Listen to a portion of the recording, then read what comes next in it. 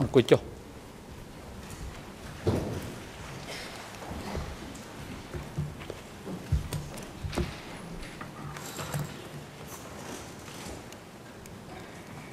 អង្គជំរះប្រកាសបន្តកិច្ចដំណើរការនីតិវិធីសកម្មការហើយមន្ត្រីរដ្ឋបាលតុលាការអញ្ជើញសាក់សី TCW 480ចូលមកកាន់កន្លែងផ្ដោតភ័យកម្មនៅក្នុងបន្ទប់សកម្មការ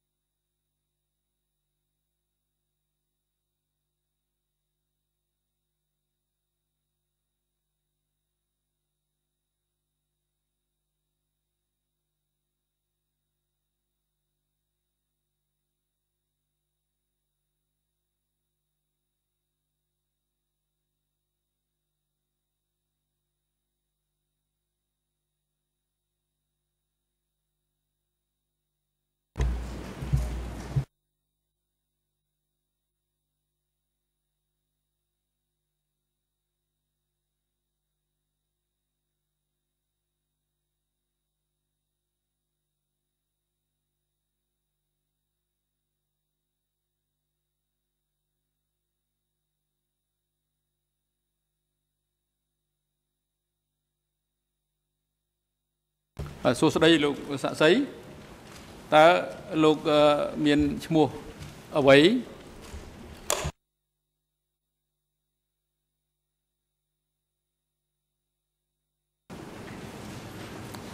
សូមគោរពលោកប្រធាន និងអង្គសវនាការទាំងមូលខ្ញុំបាទឈ្មោះនងសុផង់ បាទអរគុណហើយលោកនងសុផង់ក្រៅពីឈ្មោះសុផង់ហ្នឹងតើលោកធ្លាប់ប្រើប្រាស់ឈ្មោះអ្វីផ្សេងពីនេះដែរទេ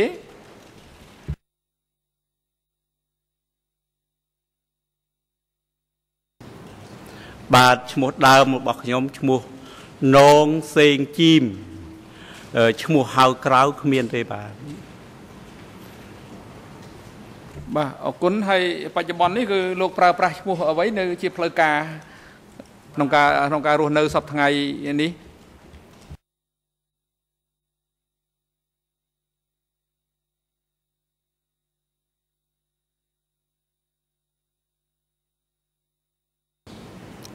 បាទឈ្មោះជាផ្លូវការរបស់ខ្ញុំគឺនងសុផង់បាទ បាទអរគុណហើយលោកនងសុផង់តើលោកអាចប្រាប់ដល់អង្គជំរះបានទេថាតើលោកមានថ្ងៃខែឆ្នាំកំណើតកើតថ្ងៃខែឆ្នាំណាដែរឬក៏អាយុប៉ុន្មានដែរ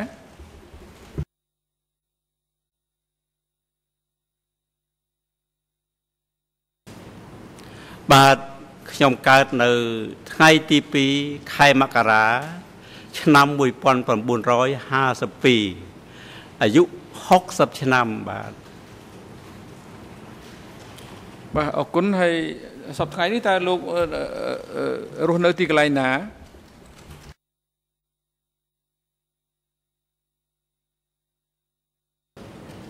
បាទខ្ញុំអាស័យដ្ឋានរបស់ខ្ញុំ គឺភូមិដីក្រហមឃុំតាសែន ស្រុកកំរៀងខេត្តបាត់ដំបងបាទបាទអរគុណហើយតើសប្តាហ៍នេះលោកប្រកបមុខរបររកស៊ីធ្វើអ្វី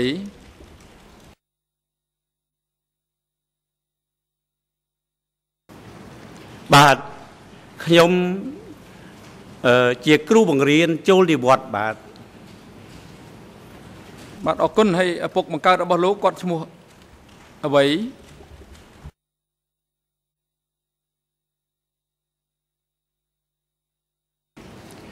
ឪពុកខ្ញុំឈ្មោះនងជឹមបាទអរគុណចុះម្ដាយបង្កើតរបស់លោក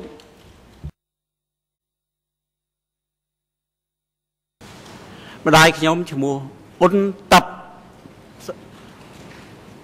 បាទអរគុណហើយបាទហើយចូលប្រពន្ធរបស់លោកគាត់ឈ្មោះអី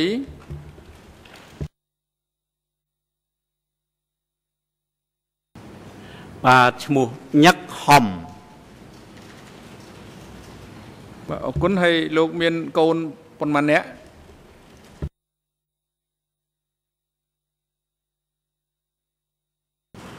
បាទមាន3នាក់បាទបាទអរគុណហើយលោកនងសុផុងតាមរបាយការណ៍របស់កលាមជីសមនាការអឺគាត់រាយការណ៍កាលពីម្សិលមិញថាតាមសមត្ថភាពដែលលោកដឹងលោកមិនមានចំណងញាតលោហិតឬញាតពន្ធជាមួយនឹងបុគ្គលដែលត្រូវបានទទួលយកជាដើមម្ដងរដ្ឋបព្វនីនៅក្នុងរឿងក្តីនេះទេហើយក៏មិនជាប់ញាតលោហិតឬក៏ញាតពន្ធជាមួយនឹងជនជាប់ចោតទាំង3រូបដែរគឺលោកនួនជាលោកអៀងតារីលោកខៀវសំផនតើអឺ ជាការពិតមែនដែរឬទេ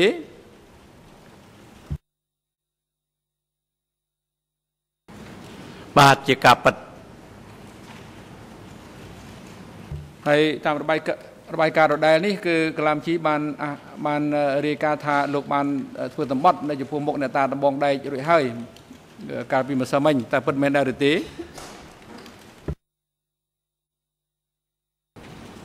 ពិតមែន បាទអរគុណជាបន្តនេះគឺអង្គជំរះអឺប្រាប់អំពីសិទ្ធិនិងអឺករណីយកិច្ចក្នុងនាមលោកជាសាក្សីលោកនងសុផង់ក្នុងនាមលោកជាសាក្សីនៅក្នុងកិច្ចដំណើរការនីតិវិធីសកម្មការចំពោះមុខអង្គជំនុំជម្រះនេះ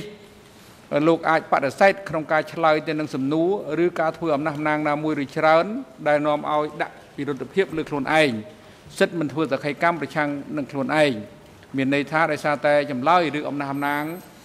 របស់លោកនោះ នាំឲ្យលោកនឹងត្រូវទទួលរងការចាត់បង្កាន់អំពីករណីយកិច្ចក្នុងនាមលោកជាសាក្សីលោកត្រូវតែផ្ដល់តក្កកម្មក្នុងកិច្ចដំណើរការនីតិវិធីនៅចំពោះមុខអង្គជំនុំជម្រះនេះដោយត្រូវឆ្លើយតបទៅនឹងសំណួរទាំងឡាយដែលភាគីឬក៏ចក្រមនៃអង្គជំរះបានសួរចំពោះលោក លើកលែងតែសំណួរឬអំណះអំណាងអឺណាដែលនាំឲ្យដាក់វិរុទ្ធភាពលើខ្លួនឯងដោយយើង បានប្រាប់ខាងលើអំបញ្ញមិញនេះហើយលោកជាសាក្សីត្រូវតែ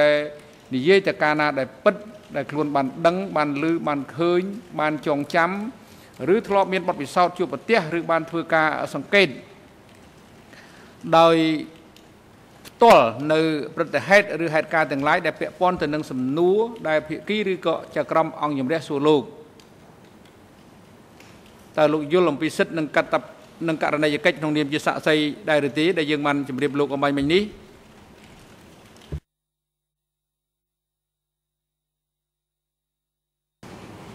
បាទខ្ញុំយល់បាទសូមអរគុណបាទអឺលោកនងសុផង់តើលោកដែលធ្លាប់ផ្ដល់កិច្ចពិភាក្សាជាមួយនឹងអ្នកស៊ើបអង្កេតនៃការិយាល័យសហជក្រមស៊ើបអង្កេតដែរឬទេហើយបើសិនបើធ្លាប់ តើការធ្វើសម្ភាសន៍នោះប្រព្រឹត្តនៅ ទៅប្រមាណដង ធ្វើនៅទីកន្លែងណាហើយនៅពេលណា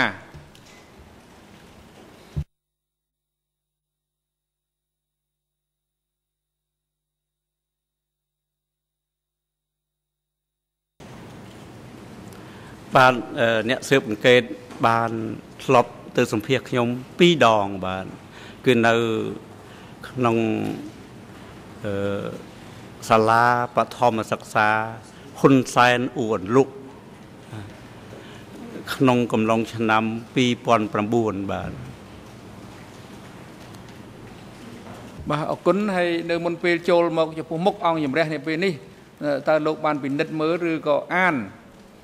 អឺនៅកំណត់ហេតុដែលដែលអឺលោកផ្ដល់តក្កកម្មដែលលោកធ្លាប់បានធ្វើជាមួយនឹងអ្នកស៊ើបអង្កេតអឺ នៃការិយាល័យសហជីពធ្វើអង្កេតដែលលោកបានឆ្លើយមិញថាធ្វើនៅអឺអូអន្លក់កាលពីឆ្នាំ2009នេះដើម្បីរំលឹកការចងចាំដែរឬទេ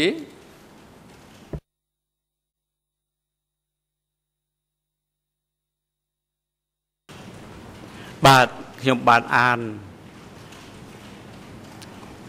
បាទអរគុណហើយបើតាមសមត្ថភាពដែលលោកអាចដឹងនិងចងចាំថាតើអាចបញ្ជាក់បានទេ ថាកំណត់ហេតុស្ដាប់តក្កកម្មដែលលោកបានអាន ដើម្បីរំលឹកការចងចាំនោះពិតជាត្រឹមត្រូវឬស៊ីសង្វាក់គ្នា ស្របទៅនឹងចម្លើយរបស់លោក ដែលលោកបានធ្វើសម្ភាសជាមួយនឹងអ្នកស៊ើបអង្កេតកាលពីឆ្នាំ2009នោះដែរឬទេ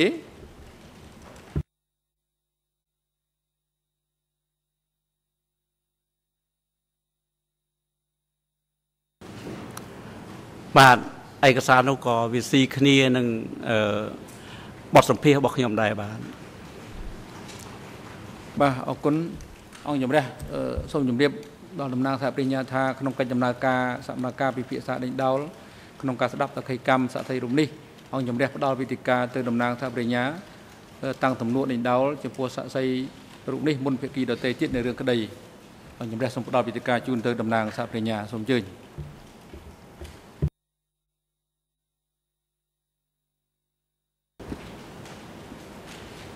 អរគុណលោកប្រធាន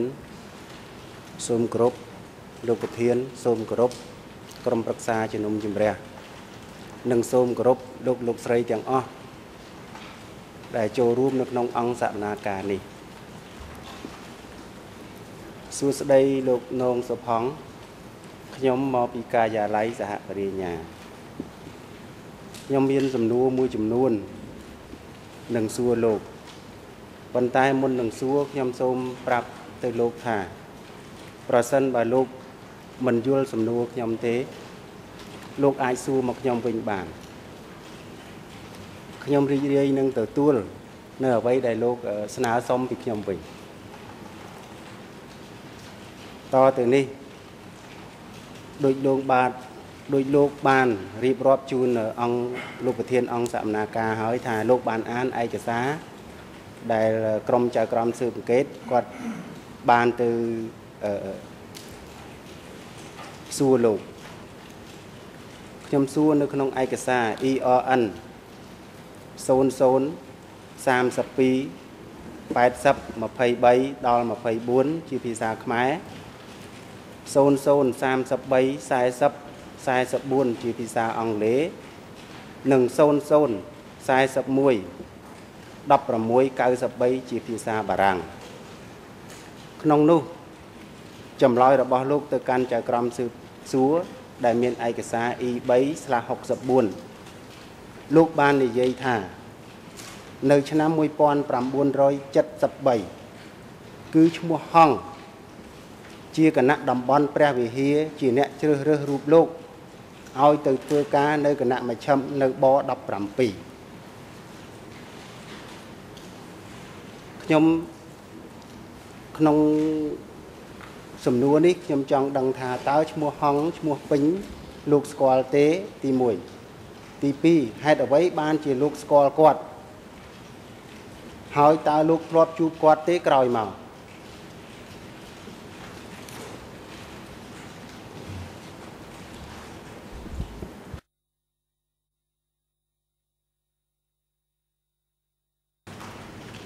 បាទនៅឆ្នាំ73លោកហុងបានឬខ្ញុំមកប17ខ្ញុំមិនស្គាល់ឈ្មោះអឺពិតរបស់លោកហុងស្អីទេប៉ុន្តែគាត់មានទូនាទីជាគណៈតំបន់ព្រះវិហារអឺ គាត់ឈ្មោះហុងគេហៅថាហុងហុងគ្រប់គ្នាអញ្ចឹងហ្មងបាទហើយឈ្មោះដើមអញ្ចឹងមិនអីយ៉ាងម៉េចខ្ញុំអត់ដឹងទេបាទ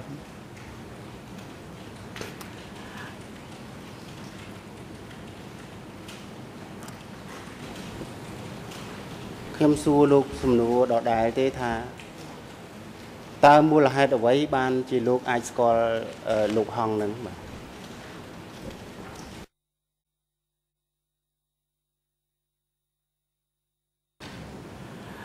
បាទមុននឹងគាត់រើសពួកខ្ញុំមកប17គាត់បានធ្វើការប្រជុំអប់រំនយោបាយដើម្បីបំពាក់បំពន់ខាងផ្នែកសតិអារម្មណ៍ដើម្បីឲ្យយើងខ្ញុំចេញទៅកន្លែងមជ្ឈិមហ្នឹងឲ្យបាន ឲ្យមានវិន័យល្អឲ្យថានិយាយរួមគឺណែនាំបំពាក់បំពន់តាមអឺគោលការណ៍របស់អង្គការបាទកាលហ្នឹងឲ្យឲ្យមានវិន័យឲ្យមានសិលធម៌រស់នៅល្អនឹងមុនគេនាំយើងខ្ញុំមកខាងមជ្ឈិមនេះបាទ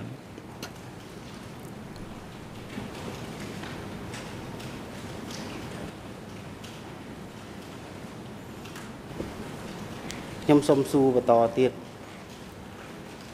ក្រោយមកនេះតើលោកដែលធ្លាប់ជួបលោកហងទេហើយដឹងថាគាត់ទៅណាទេសប្ថ្ងៃហ្នឹង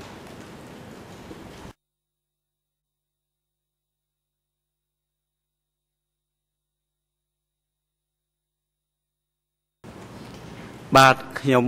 អត់ដឹងទេ បាទអត់ដែលឃើញអត់ដែលជួបទេបាទ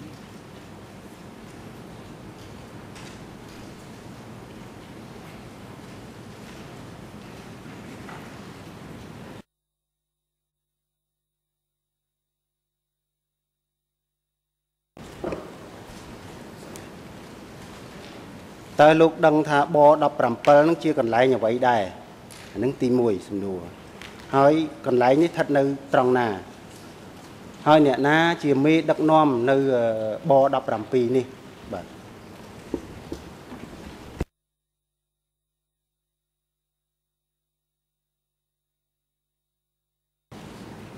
បាទនៅប17គឺជាកន្លែងអឺលុតដំ បង្កបង្កើនផលដាំបន្លែបង្ការអឺសម្រាប់ឧបត្ថម្ភអង្គការបាទហើយក៏ជាកន្លែងមួយដែលអឺសម្រាប់សាកល្បងមុននឹងចូលទៅកន្លែងមជ្ឈិមគេសាកល្បងមើលអឺខាងផ្នែកជំហររបស់យើង ហើយអ្នកដែលគ្រប់គ្រងនៅប17ហ្នឹងគឺឈ្មោះលោកឌីមបាទ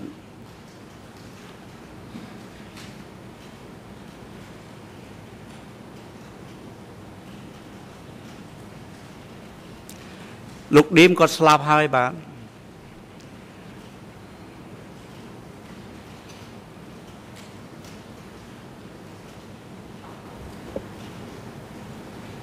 អឺសូមទោសលោក តើប17នេះស្ថិតនៅកន្លែងណាដែរបាទ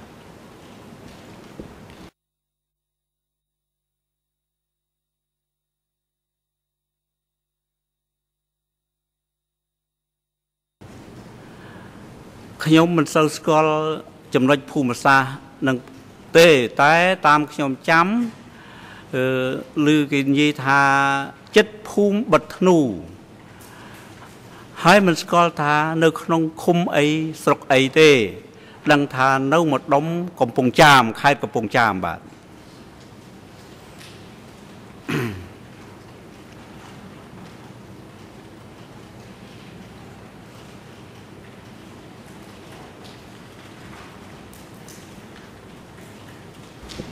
សកម្មភាពនៅ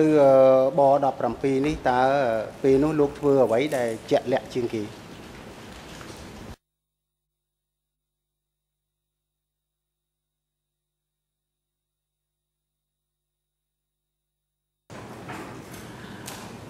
នៅកន្លែងបទ17ហ្នឹងគឺខ្ញុំ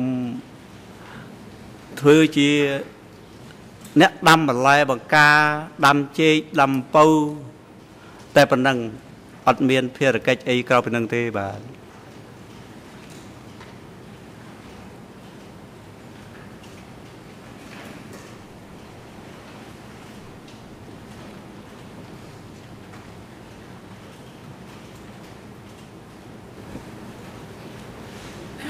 លោកចងចាំទេតើឆ្នាំណា ដែលលោកទៅរៀនអឺអឺទូលេខហ្នឹងបាទ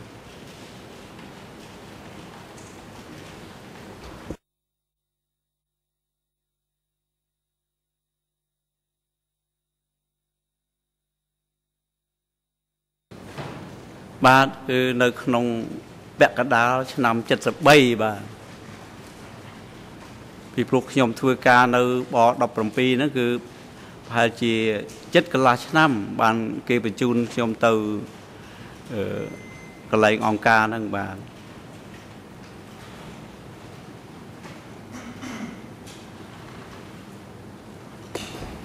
អឺពេលនោះអឺអ្នកណាជ្រើសរើសលោកឲ្យទៅរៀនសាទូលេខ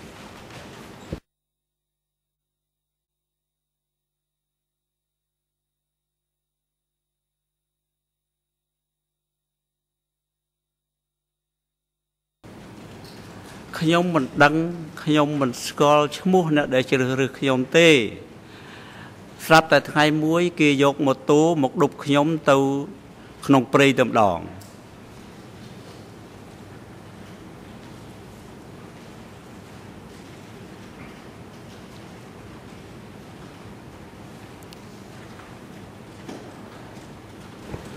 ឥឡូវនេះខ្ញុំចូលទៅដល់អឺសកម្មភាពរបស់លោកជាក់ស្ដែង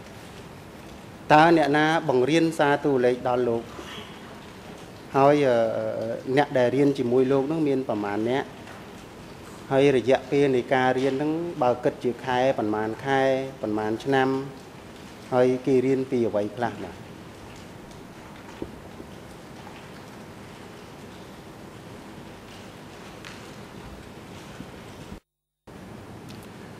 បាទអឺអ្នកដែលបង្រៀនខ្ញុំឲ្យបកប្រែសារទូលេខហ្នឹងគឺឈ្មោះប៉ុនដែលជាមេក្រុមរបស់ខ្ញុំហើយក្រៅពីហ្នឹងគឺមានអ្នកដែល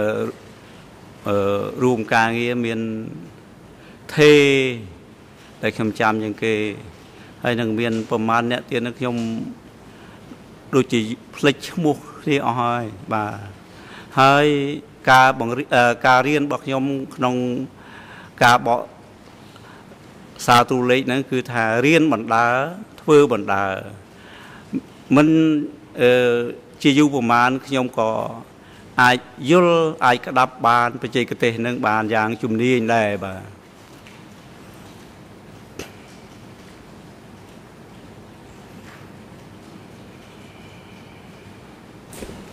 ខ្ញុំចង់អឺបញ្ជាក់លោកឡើងវិញថាតើអ្នកដែលរៀនសាទូលេខជាមួយលោកនឹងប្រមាណអ្នក ហើយអឺពេលដែលលោករៀននឹងអឺមានរយៈពេលប្រមាណហើយគោលដៅនៃការរៀននឹងគឺមានអ្វីខ្លះបាទ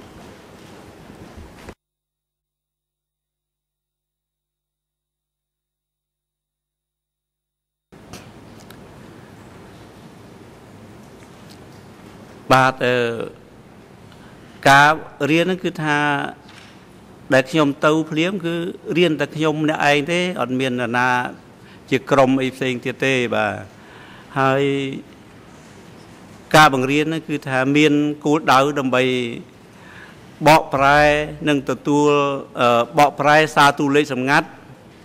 អឺដែលគេបញ្ជូនមកឲ្យខ្ញុំបកបាទដើម្បីធ្វើការងារអឺបញ្ជូនអឺបកប្រែសារទូលេខនឹងឲ្យអង្គការ បាទ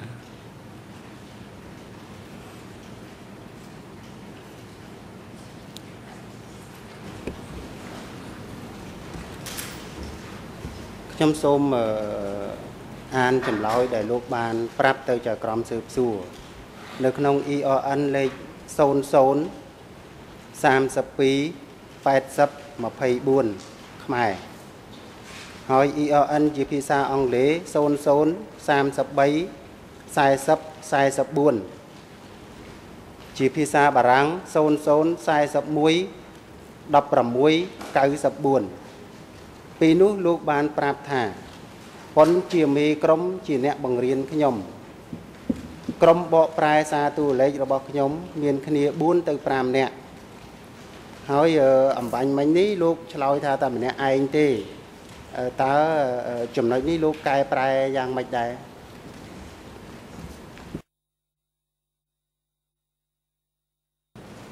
បាទអឺថាបាទចម្លើយនេះគឺពិតត្រឹមត្រូវហើយប៉ុន្តែការដែលគេយកខ្ញុំទៅរៀនតែម្នាក់ខ្ញុំទេដែលរៀនពេលហ្នឹងឯប្រហែលអ្នកគេចេះរួចអស់ហើយគេមិនបាច់រៀនអី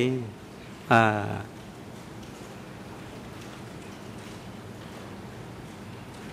អរគុណលោកសុផង់ដែលខ្ញុំមិនច្បាស់ឥឡូវច្បាស់ហើយឥឡូវខ្ញុំសួរសំណួរទៀតបញ្ហាការអនុវត្តជាក់ស្ដែងដែលលោកអឺមានប្រសាសន៍អំបញ្ញមិញ តើការអនុវត្តជាក់ស្ដែងនឹងសារណែនាំពីលើចុះក្រោមឬក៏ពីក្រោមឡើងលើឬក៏យ៉ាងម៉េចសូមលោកជួយបញ្យល់តិចមក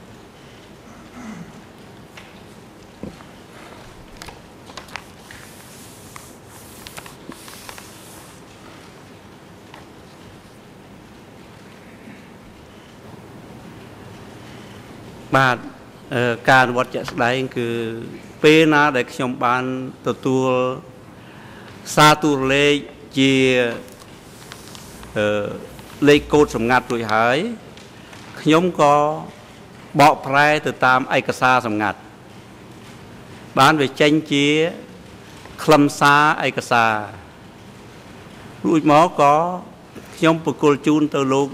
ប៉ុនដើម្បីអឺយក ខ្លឹមសារទូលេខដែលខ្ញុំបកបានហើយហ្នឹងលោកចាត់ចែងជូនទៅអង្គការបាទឯការជាក់ស្ដែងគឺថាមានសារទូលេខដែលអឺខាងមូលដ្ឋានខាងភូមិវិភាគឬមួយក៏ខាងសមរភូមិគេអឺបញ្ជូនមកតាមរយៈវិទ្យុតកតង ទូរលេខរួចហើយគេមាននិរសាបញ្ជូនឲ្យខាងក្រមលោកប៉ុននេះហើយលោកប៉ុនប្រគល់សារនឹងមកឲ្យអឺតាមទឹះតាមមុខព្រួញដែលខ្ញុំត្រូវទទួលអានេះនិយាយអំពីសារចូលឯសារចេញទៅវិញក៏ដូច្នោះដែរ ពេលលោកប៉ុនទៅទទួលខ្លឹមសារជាសារទូរលេខអឺជាអក្សរធម្មតា ហើយគេបញ្ជូនមកអឺទឹះឬមុខព្រួញណា ដែលយើងទទួលខុសត្រូវហើយយើងប្រែខ្លឹមសារនឹងទៅជាលេខកូដសម្ងាត់ ពេលដែលយើងប្រែរួចហើយបានយើងបញ្ជូនទៅតាមអយនិរសាបញ្ជូនទៅកន្លែងវាយទូលេខបញ្ជូនទៅចេញទៅបាទ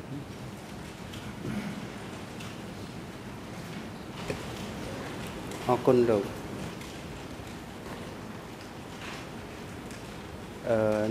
នៅក្នុងរបស់អ่ะនៅក្នុងចម្លើយរបស់លោកប្រាប់ចៅក្រមស៊ើបអង្កេត ឯកសារខ្មែរ ERN 0032 8024អង់គ្លេស00 33 40 44បារាំង0041 16 94លោកបានប្រាប់ចៅក្រមស៊ើបអង្កេតថា នៅប17លោកបានជួបប៉ុលពតនួនជា អញ្ចឹងខ្ញុំចង់សួរលោកថាតើប17នេះជាកន្លែងរបស់ប៉ុលពតនិងកន្លែងនួនជាគាត់ស្នាក់នៅនឹងធ្វើការនៅទីនោះឬមួយក៏យ៉ាងម៉េចដែរបាទ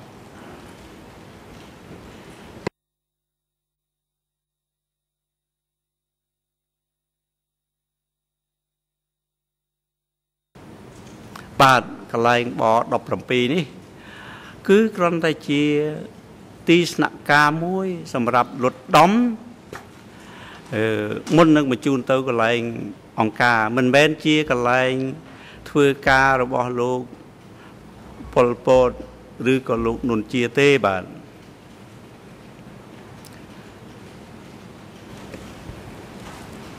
ខ្ញុំចង់ដឹងទៀតថាតើលោកដឹងថា ប៉ុលពតនិងនួនជាហ្នឹងគាត់មកប17ធ្វើសកម្មភាពយ៉ាងដូចម្ដេចដែរពេលហ្នឹង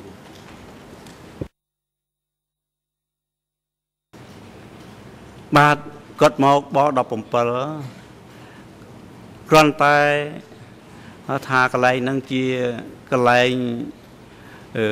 បង្កបង្កើនផលផងដូច្នេះគឺរបៀបជាដំណើរពិនិត្យមើលអឺ ខាងការងារបង្កបង្កើនផលហ្នឹងអឺមានអឺបានទទួលផលអីខ្លះអឺមានការរីកចម្រើនយ៉ាងម៉េចហើយក៏ទន្ទឹមនឹងក៏មកមើលចលនាបង្កបង្កើនផល ហើយតាមខ្ញុំយល់ក៏ថាប្រហែលជាគាត់អឺដើម្បីដូចជាដំណើរកំសាន្តឲ្យធូរអារម្មណ៍របស់គាត់ដែរតាមមើល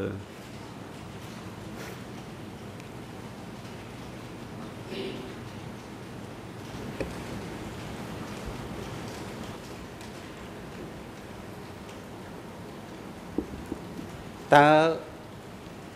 អឺពេលនោះហេតុអ្វីបានដឹងបានលោកស្គាល់ថាគាត់នោះជាពលពតហើយលោកស្គាល់ថាអឺគាត់នោះជាលោកនួនជាតើធ្វើម៉េចបានលោកដឹងពីរឿងហ្នឹងបាទ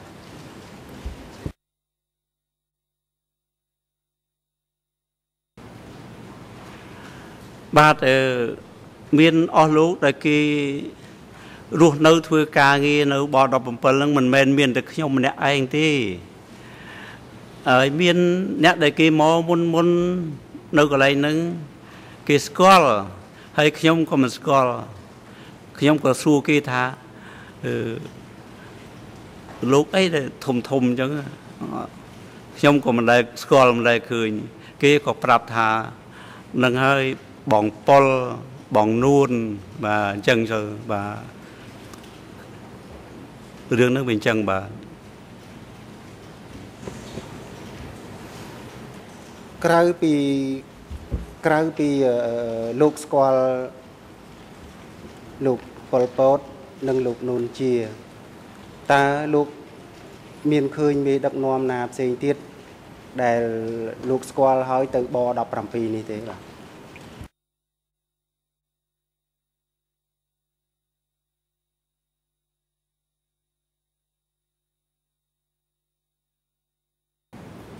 បាទមិនដែលស្គាល់ហើយក៏មិនដែលឃើញទេបាទ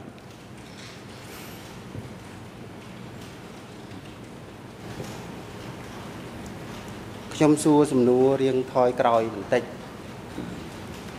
អំបញ្ញមិញខ្ញុំសួរលោកថាតើលោករៀនសាតួលេខនេះរយៈពេលប្រហែលខែឬប្រហែលឆ្នាំហើយលោកដូចជាមិនទាន់ឆ្លើយនៅចំណុចនេះអញ្ចឹងខ្ញុំសុំសួរថាថ្មីថាតើលោក រៀននឹងវាប្រហែលខែប្រហែលឆ្នាំ បន្ទាប់មកពេលដែលលោកចេះហើយនេះ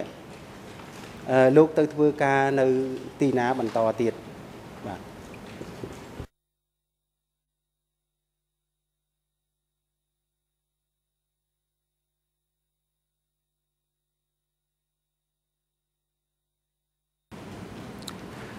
បាទខ្ញុំធ្វើការរៀនសូត្រអឺ នៅក្នុងឆ្នាំ73ហ្នឹងដោយរៀនផងធ្វើផង ជាបណ្ដើបណ្ដើហើយដល់ខ្ញុំរៀនចេះគឺតាមប៉ាន់ស្មានមើលគឺថាដល់ឆ្នាំ70 74បានខ្ញុំម្ចាស់ការហើយក៏គេបានបំបែកអឺកម្លាំងខ្ញុំឲ្យទៅធ្វើការនៅកន្លែងមួយផ្សេងទៀត នៅម្ដុំព្រៃជែកប20បាទ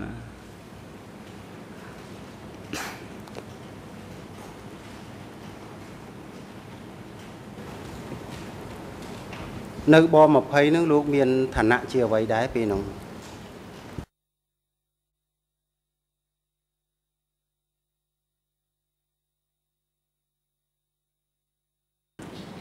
បាទនៅបង20ខ្ញុំមានឋានៈជាប្រធាន បកប្រែទូលេខបាទប្រធានក្រុមបាទ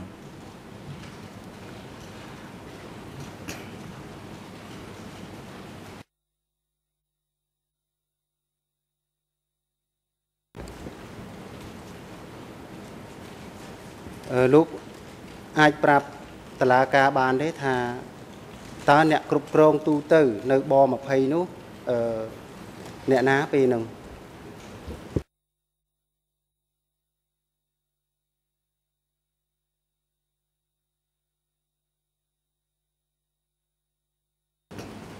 បាទខ្ញុំអត់ស្គាល់ទេបាទ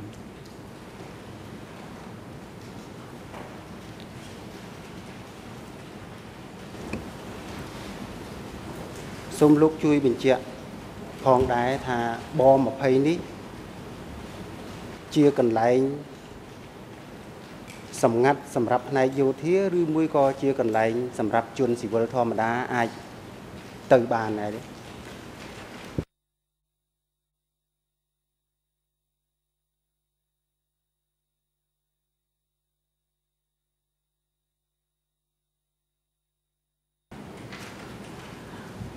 បាទប20អឺគឺជាកន្លែងបង្កបង្កើនផលមួយដែរ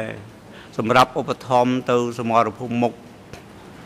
ហើយក៏ជាទីស្នាក់ការមួយដែរអឺឯខ្ញុំខ្ញុំមិនដែលទៅកន្លែងទូលាយទូទៅកន្លែងទីស្នាក់ការទូទៅនោះទេពីព្រោះខ្ញុំនៅតែក្នុងព្រៃជែកតែប៉ុណ្ណឹងมันមានសិទ្ធអី ដើរហើរឆ្វេងឆ្វាយទៅកន្លែងណាផ្សេងក្រៅពីម្ដុំព្រៃជ័យខ្ញុំនឹងទេបាទ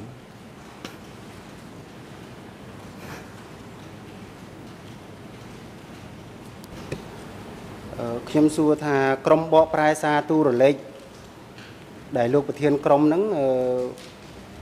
មានមនុស្សចំនួនប្រមាណអ្នកដែលបកប្រែសារទូរលេខហ្នឹងហើយអឺពេលនោះប៉ុនហ្នឹងមាននៅទីនោះដែរទេបាទ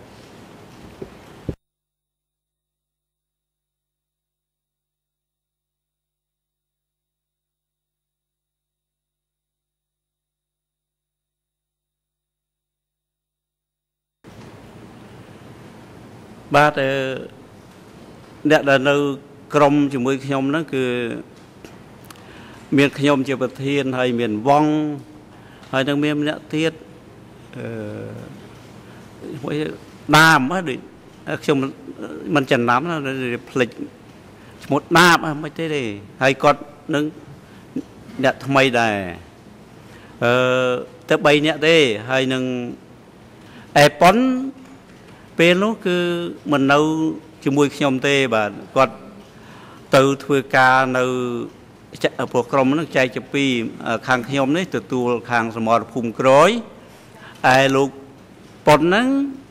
គាត់ទៅធ្វើការនៅសមរភូមិមុខជាមួយនឹងប៉ុលពត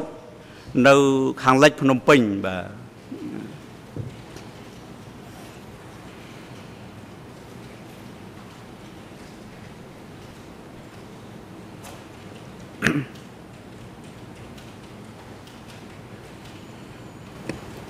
អឺតើលោកអាចរៀបរាប់ពីរចនាសម្ព័ន្ធសារទូរលេខដែលលោកធ្វើការនៅទីនោះជូនអង្គសវនាការស្ដាប់ផងបាន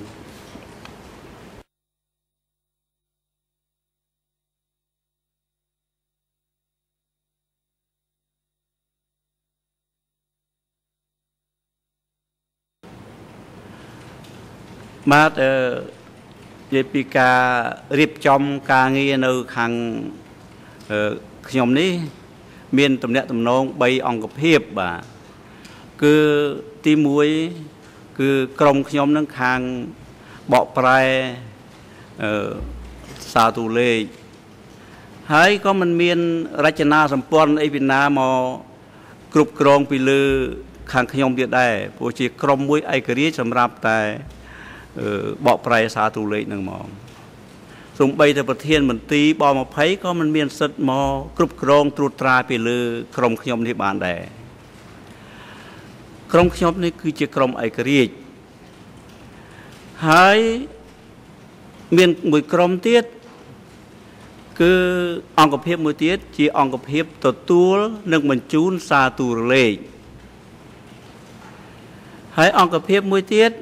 គឺជាអង្គភាពផ្សាយសំឡេងវិទ្យុផ្សាយសំឡេងឯអង្គភាពទាំង3នេះ គឺនៅដាច់ដាច់ដោយឡែកពីគ្នា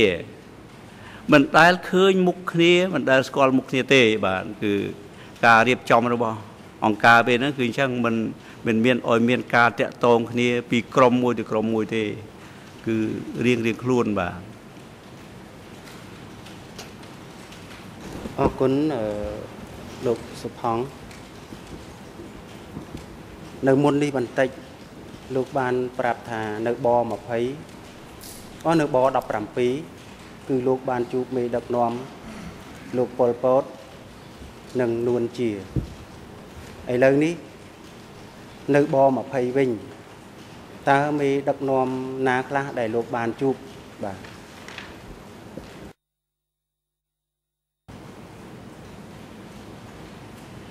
បាទនៅប20ខ្ញុំមិនមានជួបអ្នកដឹកនាំណាទេពីព្រោះអឺរាល់នៅសារទូលេខទាំងឡាយណា ដែលខ្ញុំបករួចហើយក៏មាននិរសាសម្រាប់នាំទៅជូនអ្នកដឹកនាំដែលមិនដឹងជាគេនៅកន្លែងណាខ្ញុំមិនដឹងអញ្ចឹងគឺខ្ញុំមានភារកិច្ចតែបកប្រែសារទូលេខឯរឿងទៅ គេយកសារទូលេខដែលខ្ញុំបកហើយទៅជូនអ្នកណាណាណាទៀតខ្ញុំអត់បានដឹងអត់បានឃើញនឹងអត់បានស្គាល់ទេបាទ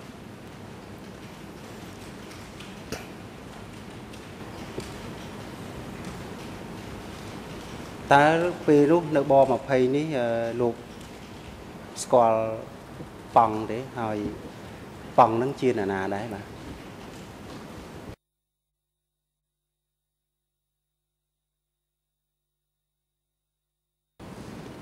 បាទទៅខ្ញុំបានស្គាល់ប៉ង់ហ្នឹងគឺតាំងពីខ្ញុំមក10ប17ម្លេះបាទ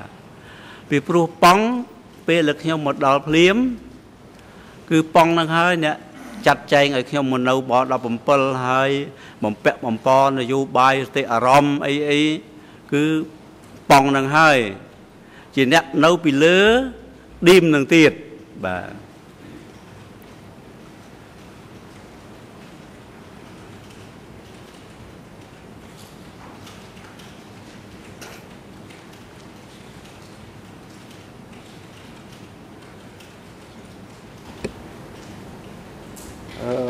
ខ្ញុំចង់ដឹងថា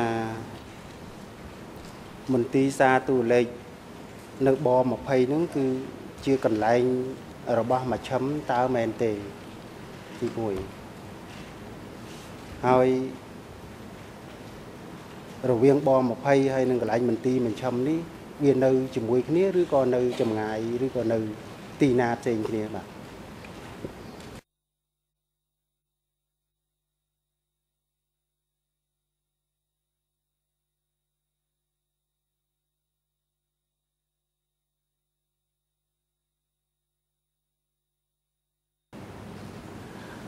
បាទខ្ញុំអត់ដឹងទេបាទព្រោះ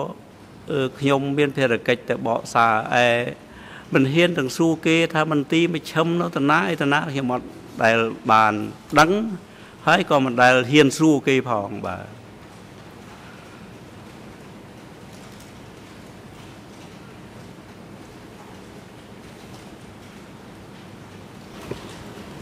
លោកមិនដឹងថាមន្ទីរមជ្ឈិមនៅទីណាអឺ ខ្ញុំចង់ដឹងថាតើលោកអាចដឹងថាតើប៉ុលពតនោះធ្វើការនៅទីណាលោកអាចដឹងទេពីនឹងហើយចម្ងាយប្រហែលពីប20ហ្នឹងបាទ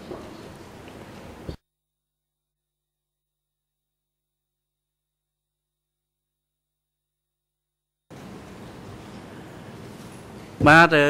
កាលខ្ញុំនៅប20ខ្ញុំមិនដឹងមន្ទីរមជ្ឈិមតាំងនៅណាទេ ប៉ុន្តែកាលដែលខ្ញុំរៀននៅទូលេខហ្នឹងនៅក្នុងព្រៃបានខ្ញុំដឹងថាមន្ទីរមជ្ឈិមគឺតាំងនៅក្នុងព្រៃហ្នឹងហើយបាទក្នុងព្រៃជ្រៅហ្នឹងហើយបាទប៉ុន្តែក្រោយមកអឺពេលដែលឆ្នាំ74អឺមានការបែងចែកក្រុមខ្ញុំជាពីរមួយទៅខាងសមរភូមិមុខទៅ មួយទៀតគឺអឺ នៅសមរភូមិក្រោយអញ្ចឹងដូច្នេះរឿងមន្ទីរមជ្ឈិមនៅតាណាខ្ញុំមិនដឹងទាំងអស់បាទ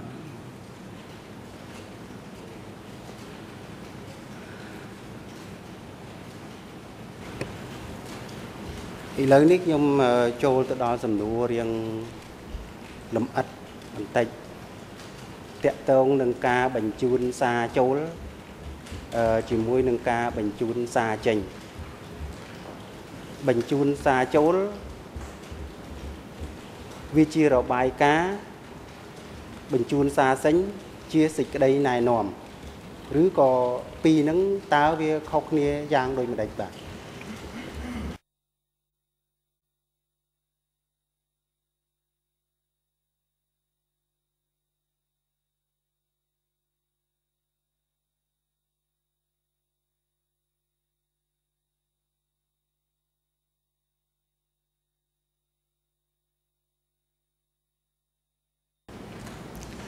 បបាទអឺសារចូលនិងសារចេញ មាន ការខុសគ្នាដោយលោកបានមានប្រសាសន៍មិញគឺថាសារចូលគឺជារបាយការណ៍ដែលខាងមូលដ្ឋាន ឬក៏ខាងសមរភូមិមុខគេរាយការណ៍មកខាងសមរភូមិក្រោយអឺអានឹងគឺជាដំណឹងប្រយុទ្ធជាអឺ ដំណឹងសមរពីសមរភូមិបាទអានេះគឺហៅថាជាដំណឹងផ្សេងផ្សេងដែលរាយការណ៍ពីកន្លែងខាងក្រោមមកខាងលើនេះគេហៅថារបាយការណ៍ឯការបញ្ជូនសារចេញទៅវិញ គឺជាសេចក្តីណែនាំអានឹងគឺគឺជាវិធានការផ្សេងផ្សេង ជាសេចក្តីណែនាំដើម្បីឲ្យមូលដ្ឋាន គេយកទៅអនុវត្តបាទនេះគឺហៅថាសេចក្តីណែនាំឲ្យថ្នាក់ក្រោមគេយកទៅអនុវត្តអរគុណលោកខ្ញុំនឹងបន្ថែមចំណុចនេះមួយទៀតតកតងនឹងរបាយការណ៍ពីក្រោមឡើងមកលើ តើពីក្រោមនោះគេសរសេរដោយដៃឬមួយក៏គេចុចសារទូរលេខតិចតិចតតតជូនលោក ហើយបន្ទាប់មកលោកបានលទ្ធផលហ្នឹងលោកបញ្ជូនរបាយការណ៍ហ្នឹងទៅថ្នាក់លើតើអញ្ចឹងមែនដែរទេបើខុសពីហ្នឹងសូមលោកជួយបង្ហាញបាទ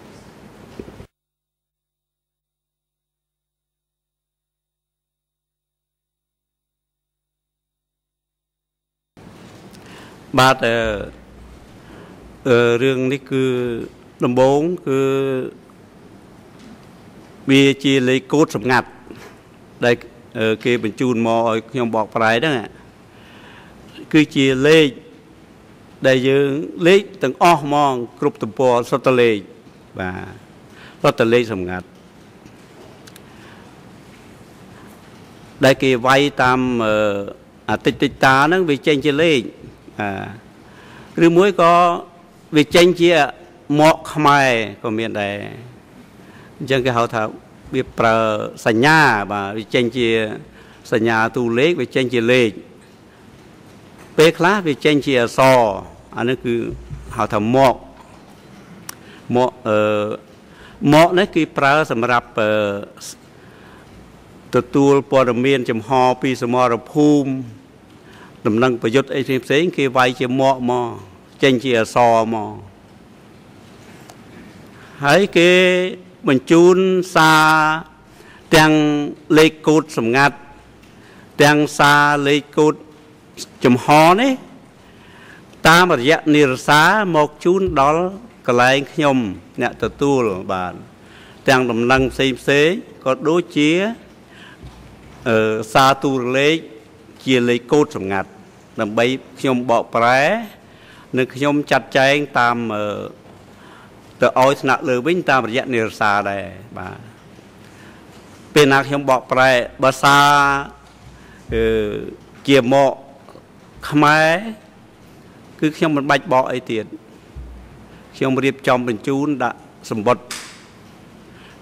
ភាសាសម្ងាត់បានជាលេខទើបខ្ញុំ បកប្រែចេញជាខ្លឹមសារហើយ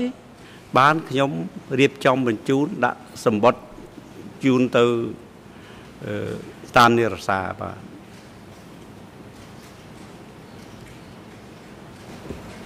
អរគុណលោក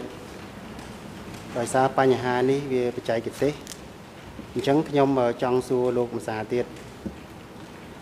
តកតងជាមួយនឹងសេចក្តីណែនាំពីថ្នាក់លើមកវិញតើគេបញ្ជូនជាសារសម្ងាត់ទីទីតតតឬមួយក៏គេសរសេរដៃយកមកឲ្យលោកដើម្បីលោកបំលែងឯកសារហ្នឹងបញ្ជូនចេញទៅថ្នាក់ក្រោមវិញបាទ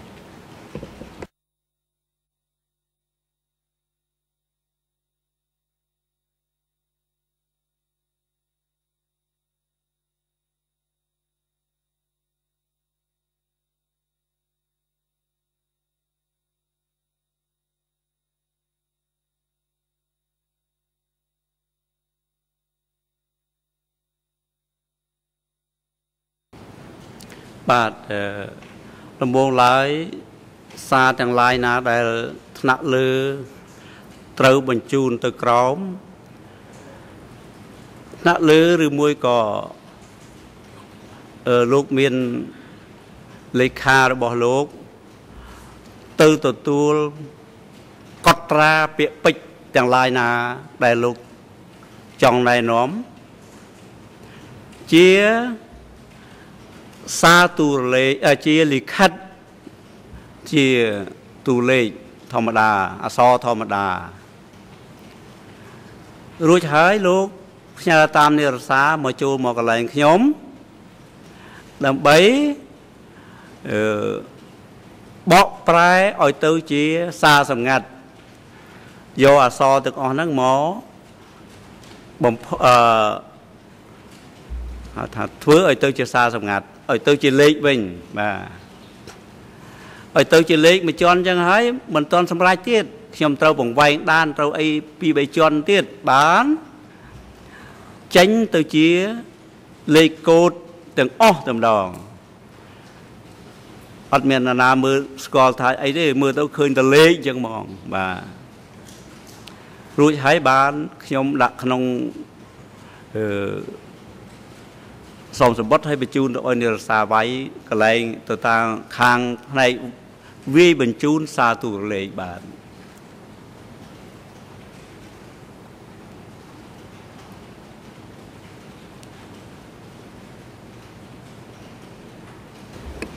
អរគុណលោកសូមលោកអឺជួយប្រាប់អង្គសមនាការមើលថាតើ សារដែលគេបញ្ជូនពីសមរភូមិគេហៅថារបាយការណ៍ហើយសេចក្តីណែនាំពីថ្នាក់លើទៅថ្នាក់ក្រោមអឺអ្នកណាជាអ្នកបញ្ជូនសារឬក៏របាយការណ៍ពីក្រោមឡើងទៅលើទៅឲ្យអឺ ថ្នាក់ដឹកនាំមួយណាដែលលោកគិតថាញឹកញាប់ជាងគេដែលលោកបានឃើញពេលនោះបាទ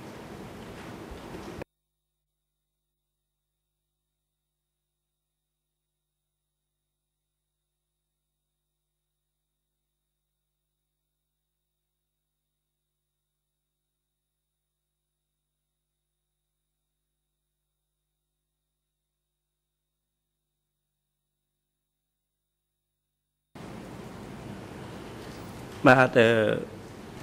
ចំពោះរបាយការណ៍ផ្សេងផ្សេងគឺគេបញ្ជូនមកសម្ដៅអង្គការហើយក៏ខ្ញុំនៅពេលនៅក្នុងព្រៃនោះខ្ញុំមិនដឹងថាសារទូលេខនឹងត្រូវជូនទៅលោកណាលោកណាទេ ហើយក៏មិនស្គាល់ថាលោកណាជាអង្គការដែរកាលហ្នឹងគឺកាលណាខ្ញុំបករួចហើយ មាននិរសាទៅគេយកទៅកន្លែងណាខ្ញុំក៏មិនដឹងជូនទៅលោកណាខ្ញុំក៏មិនដឹងបាទ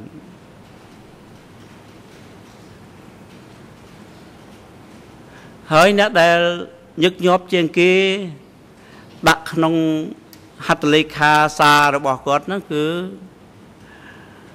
អឺសំខាន់គឺបើកាលខ្ញុំនៅ ក្នុងព្រៃគឺ លោកដាក់ថាប៉ុលប៉ុលអញ្ចឹងហ្មងបាទសរសេរដាក់ប៉ុលពីក្រោមអញ្ចឹងអ្នកចុះហត្ថលេខាលើសារហ្នឹងបាទប៉ុលហ្នឹងគឺតាមខ្ញុំយល់ប៉ុលពោតហ្នឹងហើយបាទដែលមានសារញឹកញាប់ជាងគេ បាទ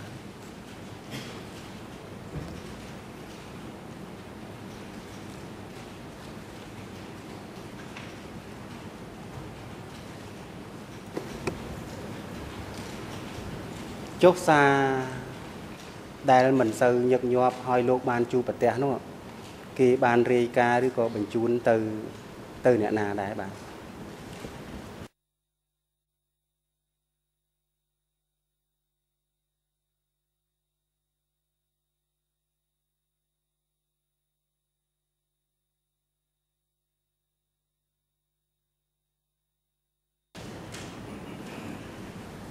បាទសារដែលម្ដងមកកាល គឺមានទៅគេសរសេរជូនបងនួនអញ្ចឹងដែរបាទនឹងម្ដងមកកាលទេមិនជានឹកញឹកញាប់ទេបាទ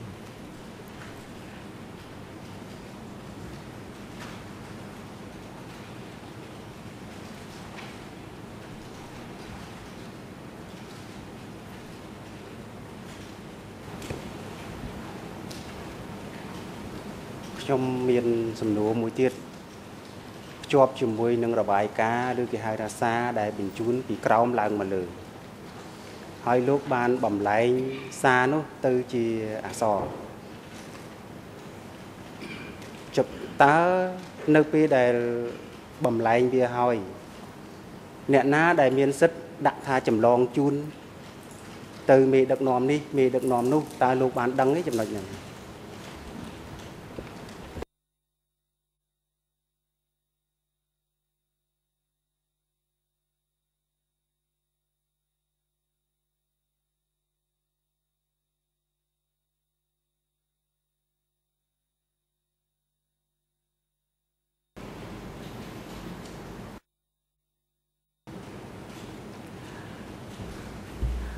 បាទអឺ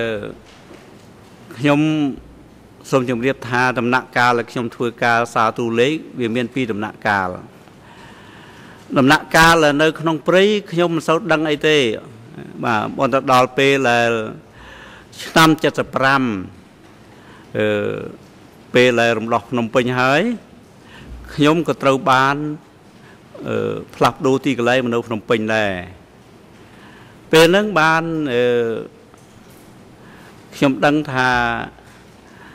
គេអ្នកណាដែលមានសិទ្ធិចាត់ចែងហើយគឺមានតែប្រធានក្រុមខ្ញុំទេដែលគាត់អាចមានសិទ្ធិដាក់ថាចម្លងជូនលោកណាលោកណា គឺមានគឺលោកប៉ុនបាទ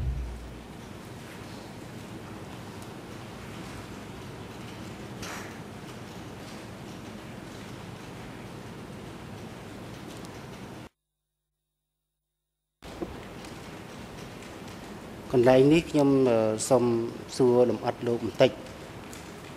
តើរបាយការណ៍ពីក្រោមឡើងមកលើនឹងលោកដែលឃើញគេភ្ជាប់មកជាមួយដាក់ថាចម្លងជូនទៅអ្នកណាអ្នកណាដែរទេបាទ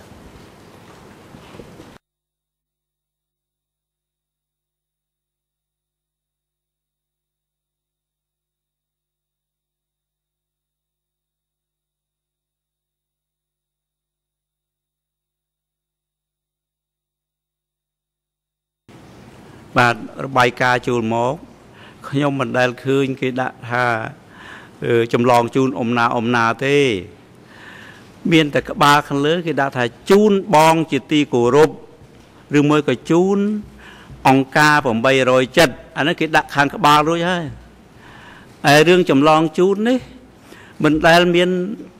របាយការណ៍ណាដាក់ថាចម្លងជូនបងនេះបងនោះទេ អ្នកដែលមានសិទ្ធិដាក់ថាចម្លងជូនបងណាបងណាគឺលោកប៉ុនបាទអរគុណណាលោកនងសុផង់ខ្ញុំនឹងសួរសំណួរបន្ថែមទៀតឥឡូវនេះខ្ញុំសួរអំពីសេចក្តីណែនាំពីលើចុះក្រោមវិញម្ដងតើខ្លឹមសារ និងអត្តន័យនៃសេចក្តីណែនាំពីលើចុះក្រោមហ្នឹងលោកចងចាំទេតើគេនិយាយពីអ្វីខ្លះបាទ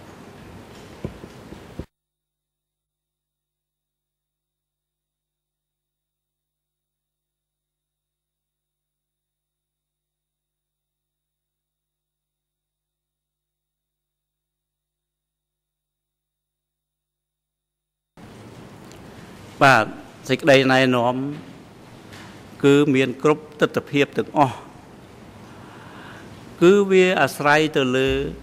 របាយការណ៍ដែលខាងក្រោមគេអឺស្នើសុំយោបល់ពីថ្នាក់លើឯថ្នាក់លើជូនមតិឬក៏ផ្ដល់មតិទៅវិញក៏វាសមស្របទៅនឹងរបាយការណ៍ដែល គេរាយការណ៍មក ឯសេចក្តីណែនាំរបស់ថ្នាក់លើ គឺវាមានគ្រប់ទស្សនភាព ទាំងផ្នែកនយោបាយយោធាសេដ្ឋកិច្ចសង្គមកិច្ចវប្បធម៌និងការតំណាក់តំណងអីផ្សេងផ្សេងសភាពការរួមផ្សេងផ្សេងដើម្បីឲ្យ ខាងមូលដ្ឋានឬមួយក៏ថ្នាក់ដឹកនាំក្រុមក្រុមយល់អំពីសភាពការតាមកលៈទេសៈនីមួយនីមួយវាយ៉ាងដូចម្ដេចនេះជាសេចក្តីណែនាំពីលើទៅក្រោមបាទ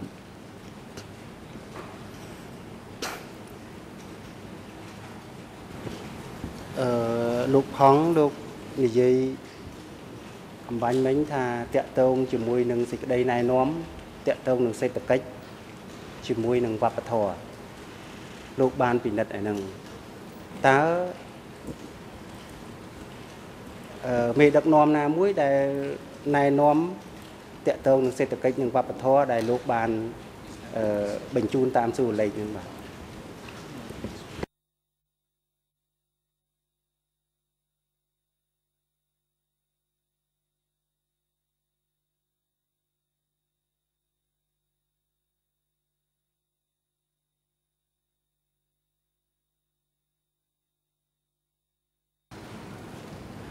បាទសេចក្តីណែនាំភាកច្រើន គឺចេញអំពីគណៈ807បាទគណៈ807ណែនាំទៅវាគ្រប់ទស្សនភាពទាំងអស់រួមទាំងមូលភាពការរួមបាទអញ្ចឹងក្នុងទស្សនភាពរួមនឹងវាមានគ្រប់ផ្នែកបាទដោយឡែកបញ្ហាអឺវប្បធម៌បញ្ហាសេដ្ឋកិច្ច អឺថ្នាក់ដឹកនាំដែល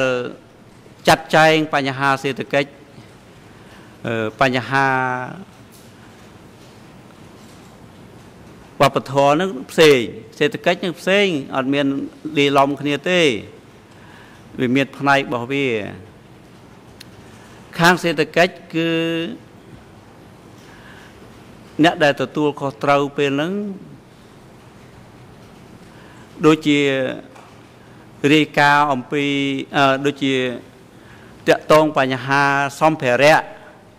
ផ្សេងផ្សេងដែលលោកបញ្ជូនទៅតាមមូលដ្ឋានហ្នឹងអ្នកចាត់ចែងខាងហ្នឹងគឺលោកខៀវសំផនបាទ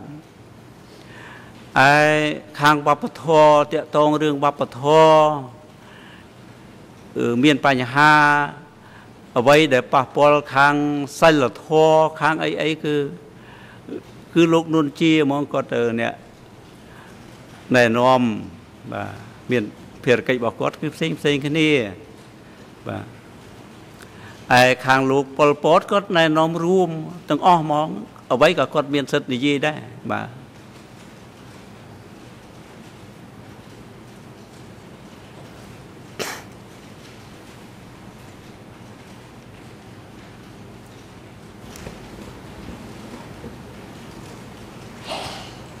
លោកថា ផ្នែកសម្ភារៈឬក៏សេដ្ឋកិច្ចហ្នឹងគឺតកតងជាមួយនឹងលោកឃីវសំផន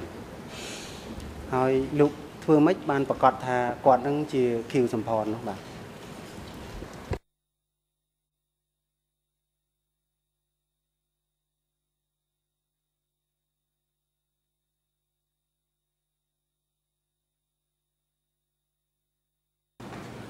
បាទលោកខៀវសំផនមិនជាពិបាកស្គាល់ទេពីព្រោះក្នុងសម័យ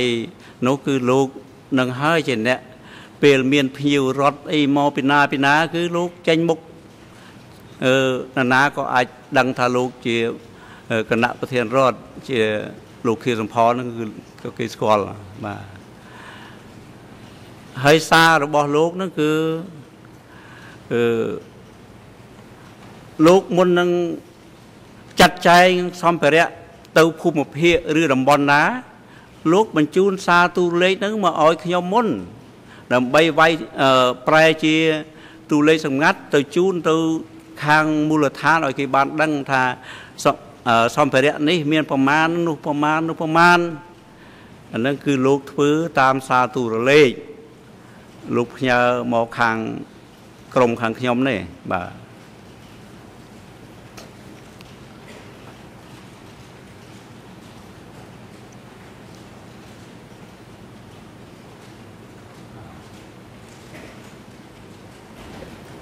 អរគុណលោកសុផង់តកតងជាមួយនឹងអឺសំណួរបន្តទៅទៀតខ្ញុំសួរលោកថាតើលោក នៅចងចាំទេថា មានសារតួលេខសេចក្តីណែនាំស្តីពីការកាន់កាប់ឬក៏ចូលវាយលុកទីក្រុងភ្នំពេញទេពេលនោះបាទ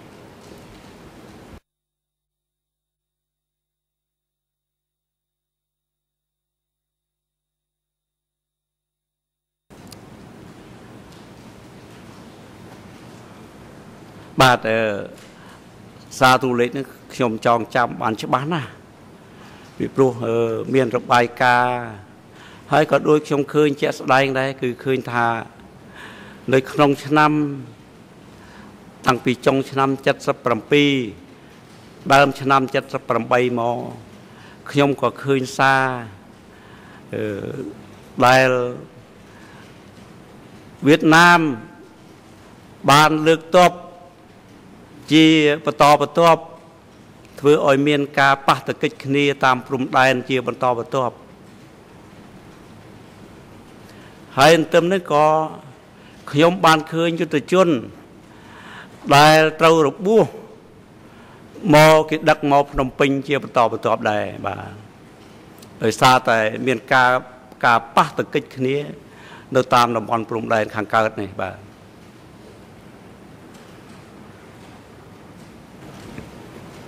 អរគុណលោកសុផង់ក៏ប៉ុន្តែខ្ញុំអត់ទាន់បានសួរខ្ញុំនឹងសួរពេលក្រោយទៀតតកតងនឹងឆ្នាំ70ជាងហ្នឹងណា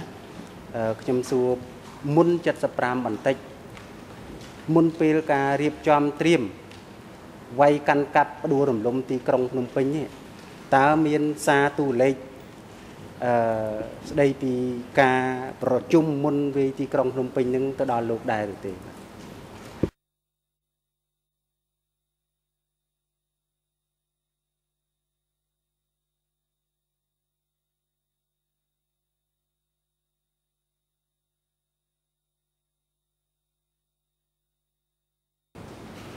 សុំទោសលោកសួរម្ដងទៀតតើសំណួរណាថាវាយទីក្រុងភ្នំពេញតើអឺខាងវៀតណាមវាយចូលភ្នំពេញឬមួយក៏កងទ័ពកម្ពុជាប្រជាធិបតេយ្យវាយភ្នំពេញអានេះសូមលោកសំណួរលោកងាយឲ្យច្បាស់បាទអរគុណលោកនងសុផង់ខ្ញុំចង់បានអញ្ចឹងប្រសិនបើមិនច្បាស់អឺសូមលោកប្រាប់ខ្ញុំវិញមកខ្ញុំនឹងសួរសារថ្មី បាទអរគុណខ្ញុំចង់សួរថា មុនឆ្នាំ75គឺនៅក្នុងរបបសាធារណរដ្ឋដែលមានលន់នល់គ្រប់គ្រងទីក្រុងភ្នំពេញហើយមុនពេលដែលកម្ពុជាប្រជាធិបតេយ្យវាយយកទីក្រុងភ្នំពេញ វាត្រូវមានសារបញ្ជូនគ្នាទៅវិញទៅមកស្ដីពីការវាយទីក្រុងភ្នំពេញ ស្ដីពីការគ្រប់គ្រងនិងការជំលះប្រជាជនជាច្រើនម៉ឺននាក់នៅទីក្រុងភ្នំពេញអឺ ខ្ញុំចង់សួរថាតើលោក បានទទួលសារឬក៏ដំណឹងនេះទេបាទ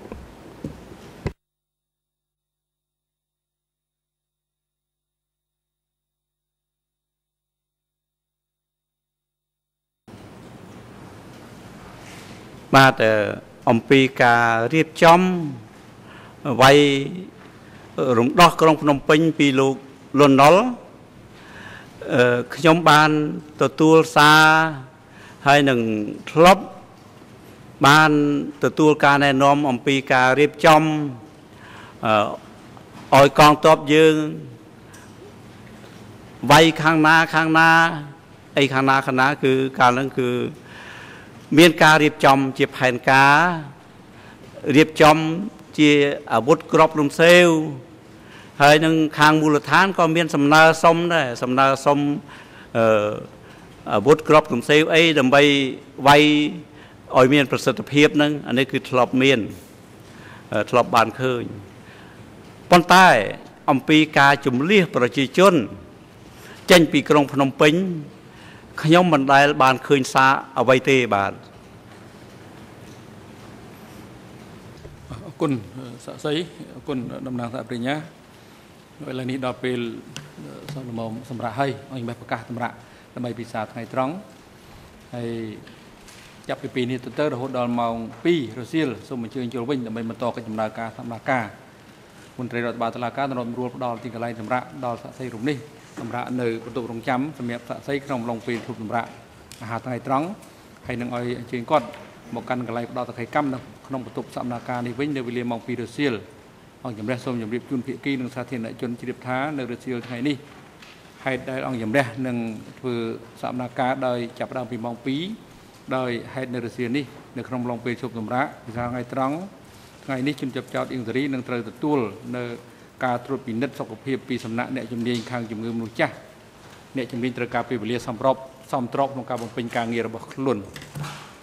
សូមអញ្ជើញលោកមេធាវីអន្តរជាតិការពីក្តីលោកនួនជា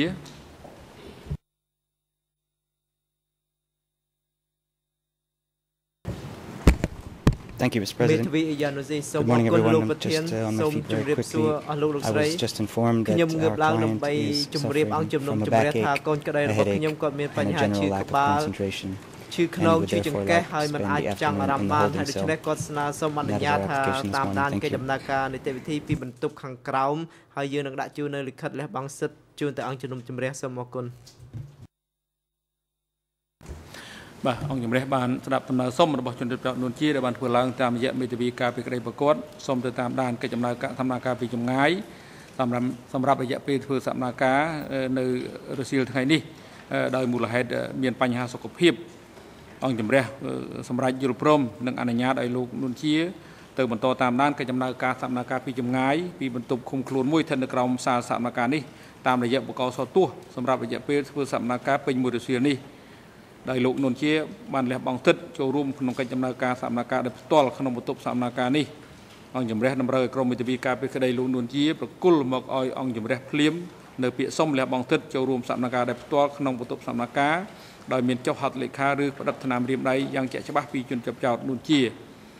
ប្រកបឲ្យផ្នែកសោទោសភ្ជាប់ប្រព័ន្ធសោទោសសម្រាប់ជនជាប់ចោតរូបនេះអាចតាមដានកិច្ចដំណើរការសកម្មការពីចម្ងាយពីបន្ទប់ឃុំខ្លួនមួយស្ថិតនៅក្រោមសាលសកម្មការនេះ សម្រាប់សម្រាប់រយៈពេលកិច្ចដំណើរការសកម្មការនៅរសៀលថ្ងៃនេះប្រកបអនុរិយមន្ត្រីគុំខាំងនាំលោកនួនជានិងលោកខៀវសំផនទៅកាន់បន្ទប់ខាងក្រោមដោយរសៀលនេះទុកឲ្យលោកនួនជានៅក្នុងបន្ទប់ដែលរៀបចំទុកជាស្រេចនៅឧបករណ៍សោទោសសម្រាប់គាត់អាចចូលរួមនៅតាមដានកិច្ចដំណើរការសកម្មការពីចម្ងាយដែលឡែកលោកខៀវសំផនឲ្យនាំខ្លួនគាត់មកកាន់